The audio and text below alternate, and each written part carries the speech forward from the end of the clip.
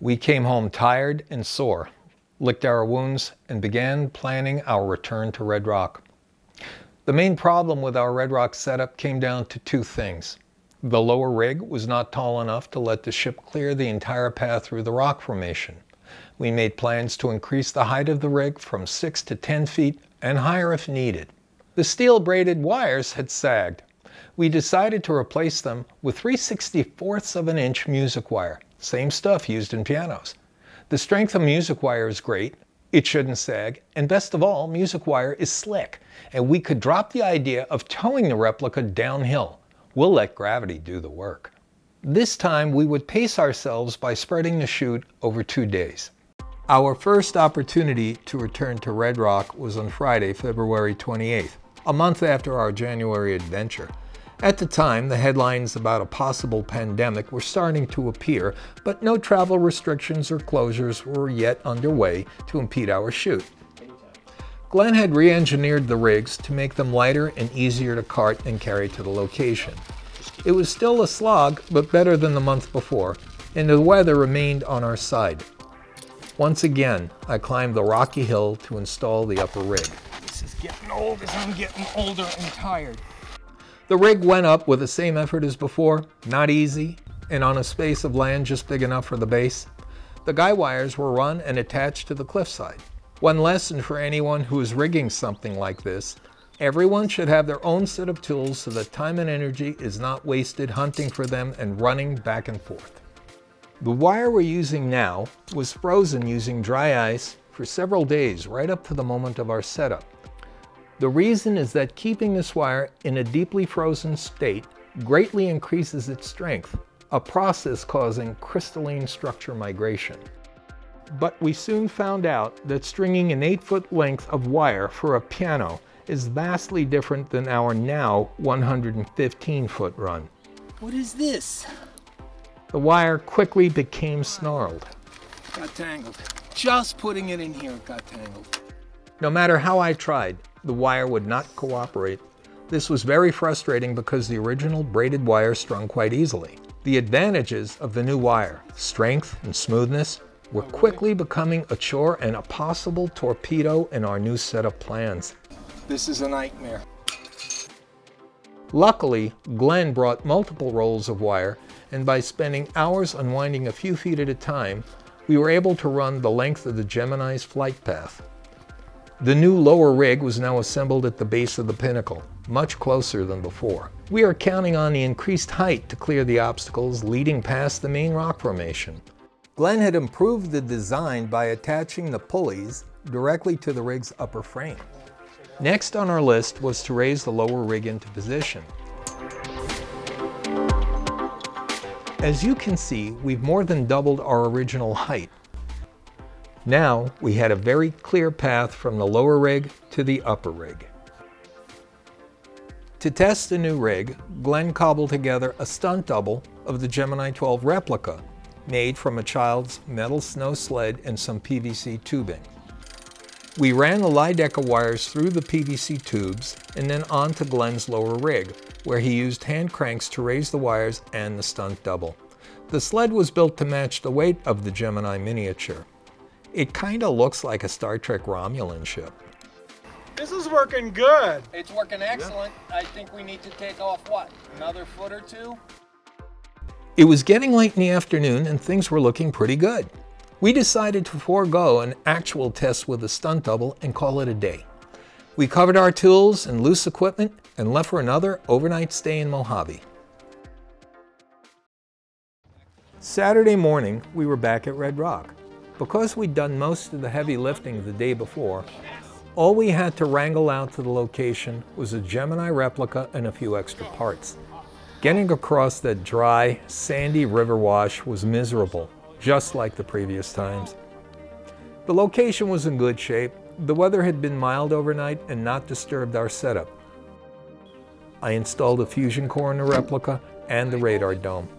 Remember that I'd made the Lydecker tubes out of copper with the last two inches of stainless steel for strength. This time, a spring was added to each opening to help reduce friction on the new solid wire. Boy, those springs in there really make it easy, don't they? Wrong again, Paul. The starboard side spring was preventing the wire from going all the way through. Glenn did some quick router work using another piece of wire, and finally the opening was cleared.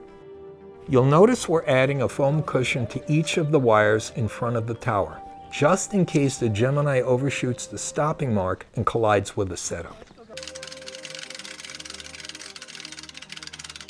We ran the two Lydecker wires to the lower rig and began the process of raising the Gemini into the air.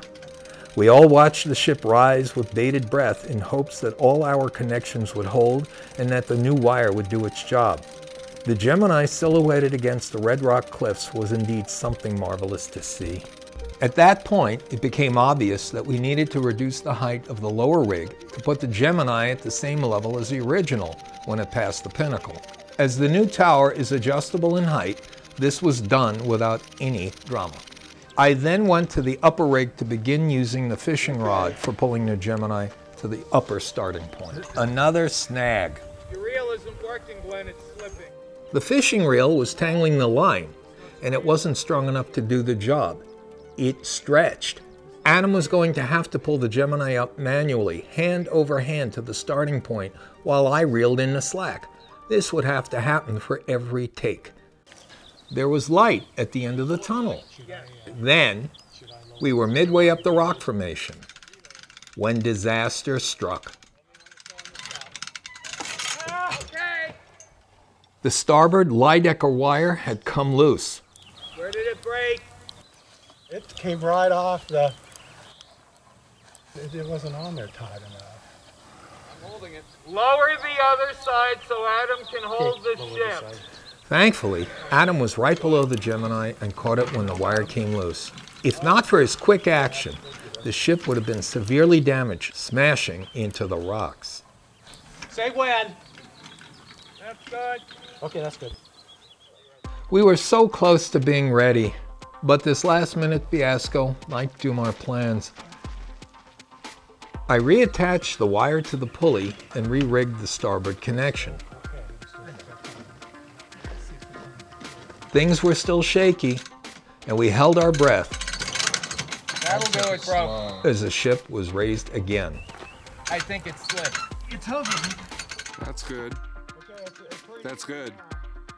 Okay, we're back on track to pulling the Gemini to the starting point.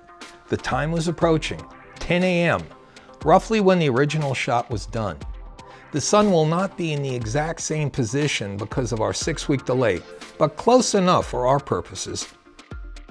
Not knowing if we were going to get more than one take, Mike has set up three cameras to roll at the same time. A camera is what we call the money shot, with the Gemini passing the pinnacle. This camera will be shooting in slow motion at 120 frames per second. B camera is facing the formation and duplicating the famous angle of the Gemini heading above the camera. This shot is 30 frames per second. C camera is giving us a wide angle of the cliff formation to capture the ship's entire run from right to left, also shooting at 30 frames a second. Glenn has installed a fourth camera, a GoPro, inside the Gemini replica for a unique, one-of-a-kind shot that even Howard Lydecker could never have pulled off in the day. We'll see the point of view from inside the ship as it travels down the wires. One more note, we are not using any wire removal software in editing this restaging. Although Mr. Lydecker didn't have that advantage, and neither will we, he did use smoke to aid with the camouflaging of those wires. We wanted to use a drone for additional coverage, but the state of California forbids their use in Red Rock Canyon. Okay, are we ready? It would have been nice, but they let us in to do this outrageous stunt, so I'm counting our blessings. This is it. One take and it's the end of the ship. Okay, John, roll your camera. Rolling. What you're going to see now is an edited version selected from some of our best takes with the engine sound effects added in. You'll see more on the other side, but for right now, we're relaunching the Gemini 12. And action.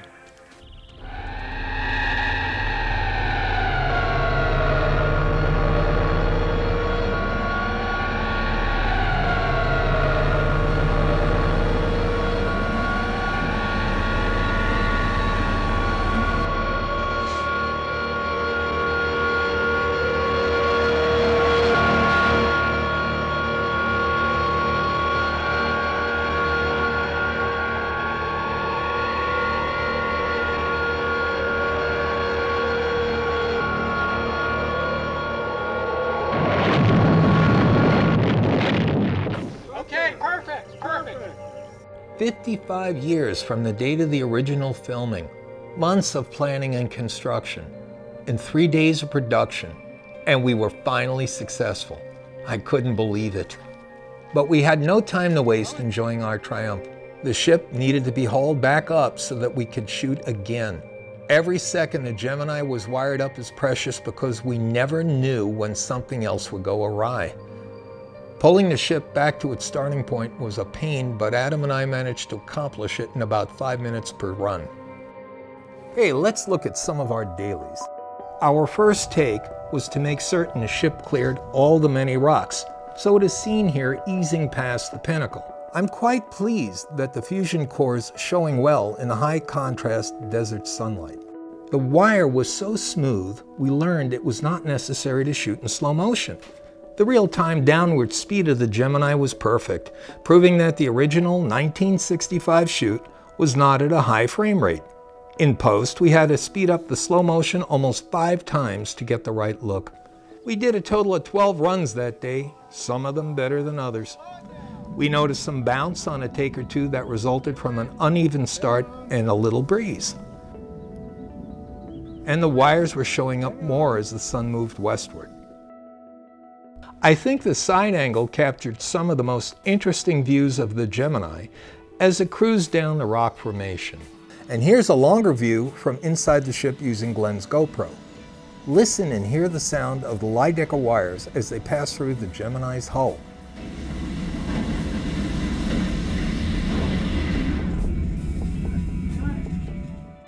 Glenn managed to take his camera to the opposite side of the rock formation and grab some unique angles similar to the takes in the 1965 filming. Paul, come, come down here because I don't think you can see this up there. With all the good takes in our pockets, we decided to wrap the production around 12.30 p.m. as the wind began to pick up. We had multiple trips ahead of us to return the equipment to the parking lot. Our strike was another test of endurance and took nearly five hours. This time we got it all back to the parking lot before dark. What we didn't know is how much the world was about to change. A week after our shoot, the United States began shutting down due to the COVID-19 pandemic. The closures included state parks, and Red Rock would be off limits in the foreseeable future. Getting our crash recreation done at the end of February was accomplished before the door was shut.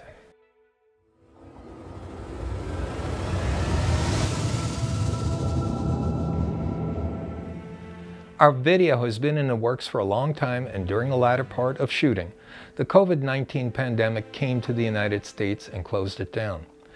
We salute the heroes of the healthcare profession, the federal, state, and city employees, and retail workers who are on the front lines. Our little production had to shut down too. As mentioned earlier, we were finishing Red Rock a week before the situation became an emergency. We feel that sharing this video is not only fun, but relief for those who are soldiering on through the crisis. I hope you feel the same way. Also know that this production was done properly with filming permits, insurance, and communications with park officials. That consisted of an agreement that we leave the area as though we had never been there. No debris, no wrappers, nothing. Now, a few people to thank. Kevin Burns, the man who saved Lost in Space and keeps the flame burning. A big thanks to my son, Adam, not only for saving the ship, but for being a tireless assistant. The park rangers of Red Rock Canyon.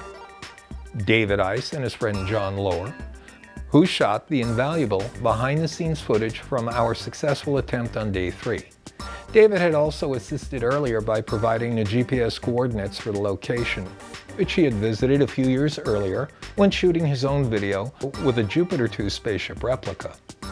Thanks to Glenn Loughborough for his engineering and technical support, Mark Myers for his very special model work, to Gene Winfield for his comments about vehicle construction, to John Antonellis, builder of the replica chariot, Mike and Lola Nicker of Q Plus Labs for the scan of the Gemini 12, and Andre Dant, owner of the original Gemini 12 miniature.